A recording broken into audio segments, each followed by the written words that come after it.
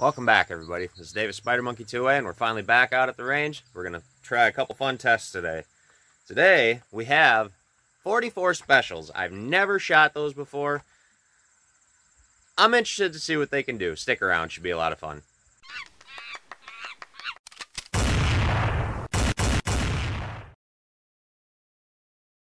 All right, so yes, 44 specials. Never shot them before. The fun part about these is you can shoot them I think out of all your 44 mags, they're also rated for 44 special. So, got one of my favorites out today. The Henry All Steel Big Boy 44 mag. Love this thing. I don't know if you can see, but on the barrel there, also say, yep, right there. So it's caliber 44 Remington Magnum and 44 Special. So I've never actually tried these out of it to see what the recoil is. The ammo that we're going to be using today, that's all I can find for 44 Special, is this Underwood High Performance. I like these things because they come out with some interesting style of rounds. These ones are the 220 grain Extreme Penetrators. I've shot Extreme Defenders before, never the Extreme Penetrators, but guys, that is a nasty looking round. Look at that. Ugh. That'll do some damage. These are, like I said, 225 grain, rated for 1050 feet per second. We're shooting this out of the carbine, so it'll probably be going a little bit faster. We got some different tests. We got some water jugs. We're going to see if we can catch one of these. We got a couple different styles of melons, see if we can blow it up. We got a couple of small frozen jugs, see if we can get some extreme action going on. So first up, we're going to do the good old recoil test. I like to see if there's any difference between certain rounds that we shoot. If you watch the channel, you'll know you notice that we do that. 44 Magnum out of a carbine, not a ton of recoil, but it still packs quite a wallop. Uh, 44 Specials, I don't know. I'm, I'm interested to see. Let's take a look. Oh my goodness, that was like shooting a 22. Seriously, guys. Let's move it on to a different test.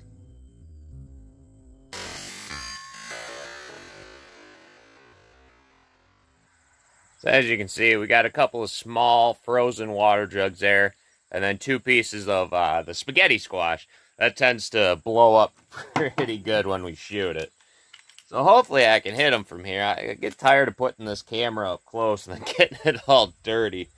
I don't know. We'll see. Maybe the uh, penetration water jug test will do it. But hopefully I can hit it from here. We're at about uh, maybe 10 yards away. Let's give it a whirl, see what happens.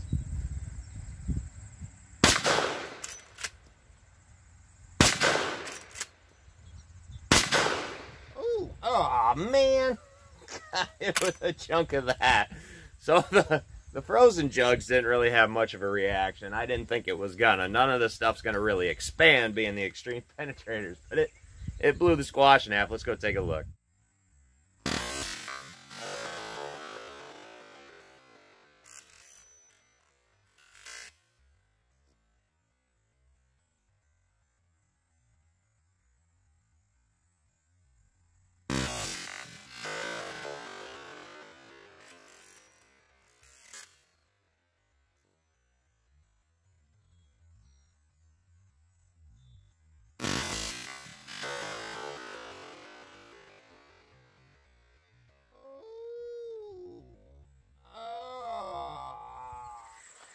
Okay, so walking up to it, give a little explanation of why we haven't been doing very many videos lately. I was on a different shift at work, but guess what? Going back to my regular shift, we should be able to get back out here, make some more videos more regularly, get more content for you guys. All right, enough talk. Okay, so frozen jugs. I think it went through. It looks like I might have just glanced that one. Let's take a look at the other one. Yeah, that one went all the way through. Small hole in there. Small hole right out the back. Yep, there we go. All right, let's take a look at the squash. Looks like I might be able to save these to fight another day. Blew the top off of that one. I might have been shooting a little bit high. And into the se second one. Entrance hole there. Exit hole there. But yeah, like I said, guys, we're not getting any expansion on these because they're extreme penetrator rounds. They're not designed to expand. Okay, let's uh, set up the water jug, see if we can actually catch one of these. So we got five jugs, which should be more than enough. I don't think these rounds are moving that fast. Hopefully we don't soak our camera. Let's take a look.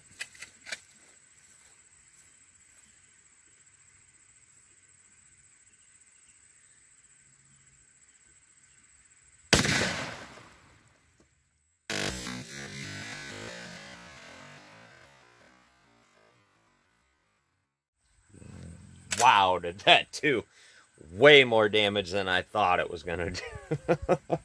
but we did not soak our camera. Thank goodness. Let's go take a look. Wow. Uh, I'm glad I put five out there. It looks like it might have made it to the fifth one. Wow. So, first jug, completely destroyed. Second jug, pretty much the same. That little, tiny entrance wound there. Big exit. That's crazy. Third jug. So we're getting a bigger entrance wound there. Getting smaller, but yeah. uh, yeah. Small entrance exit. Let's see if we caught it. I hope we did. I don't have. We did not. Oh my goodness. Wow. That, yep. Made it all the way through five, guys. Darn it. I thought that was going to be enough.